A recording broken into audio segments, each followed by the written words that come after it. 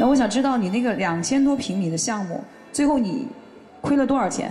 不是说那个项目亏光了，是我回到家里面，我从一八年回到家里面，我就是搞研发，我开了一个研发中心，然后还租了一个厂房，租了三间门面，就是准备就是大干一场了，手里面也有资金，然后呢，疫情来了，然后到目前为止研发现在是搞好了，现在就是没人投资，我就不准备搞了，我就找一份工作，来先维持家庭的一个最简单的开销，给老妈治病，这个是最最重要的。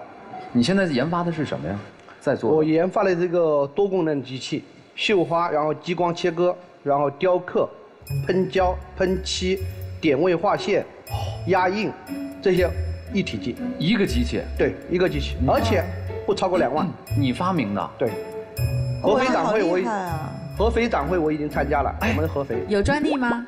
专利在申请还没下来，啊，我样机已经出来了。不过，但告诉大家一个不好的消息，现在这个机器拉到从合肥拉到我们太湖县，还在物流公司，我没有钱去提，我也没有场地来放它，因为我现在那个房租十号到期，我现在是那个门店嘛，门店十号到期，我现在一家人还没地方着落，然后现在还在找场地，还在找这个地方堆积它。因为我的背景啊是机械的背景，就是他拿到的这份证书，包括 PLC 啊、电器这些，对他来讲，一个初中毕业生能学到这样，能考到这样证书的话，是不简单的。不简单。他能够把那个机器能够整合起来是不简单。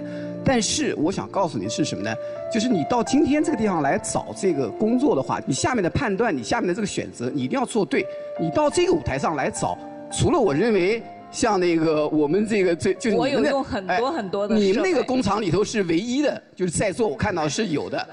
我有太多的设备。对你下面的判断，你下面的这个选择，你一定要做对。我跟大家和观众朋友来介绍一下啊，陶克军今天来找的是项目总监的职位，对吧？对。啊，然后呢，意向企业你写的是自动化类的企业，对。啊，他的期望薪酬是三万，然后工作地点是离妈妈近一点，因为妈妈生病了啊。你在来我们节目之前，你有收入吗？现在？呃，我上个月就是还在上班，一个机械厂嘛，做那个丸子机，肉丸子机。啊，你是去修还是去设计还是怎么样？啊、我是去给他组装，收入我们当地五千。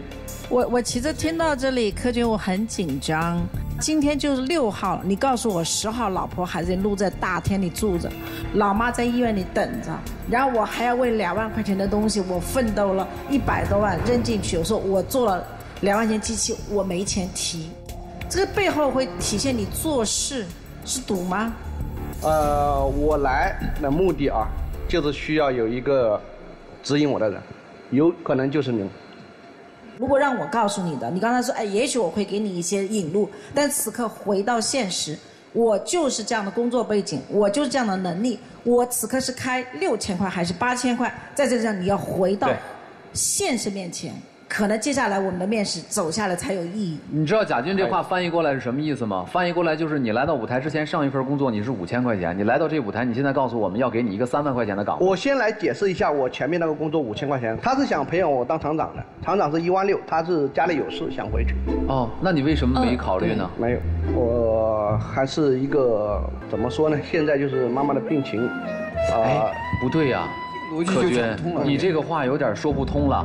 你看啊，你原来在他那厂子是五千块钱，嗯你今天来找的是一个三万的工作，对但是曾经在你面前摆着一个一万六千块钱的工作，而且人家还想培养你，他还有自己的生意，想把这厂子交给你，还离妈妈你没必要冒着一万六挣不到的风险来这儿找三万，你为什么不干那一万六的呢？这中间又有故事了。一句话啊别我补充一太复杂，下我补充一下啊，就是我老妈上上个星期，然后突发，又又又有点严重了，就是因为这个事情，把我的心，把我的这个平静的心全部都打乱了。然后在工厂里面已经没没有那个心思在干活，出来有些意外吧，就把东西做错了，然后厂里面就是说跟我私下的在调解，就说你缓一缓，然后你把心情调整好了以后再说，就这个工作就等于失去了。如果在这里有一个企业家给你一份岗位，你会不会也出现一些纰漏啊？还是你说你现在不能工作，只是先找了工作，要放一段时间？呃，先把我老妈病治好，周期大概在两个月以内。我特别感谢贾军，就他刚才啊那种着急啊，我挺感动的。这是个亮点，啊，这是个亮点。哇，我好佩服你，这个时候你还能开得出玩笑啊！对啊说明你的心态挺好。但是不得不说，回到现实吧，踏踏实实的找一份工作，先养活自己，先把眼前的困难度过去，再考虑你的那个机器，好吧？那接下来我就请企业家们做选择了哈，来吧，十二位企业家，对于我们今天的这样一位求职者陶克军，你会做出什么样的选择？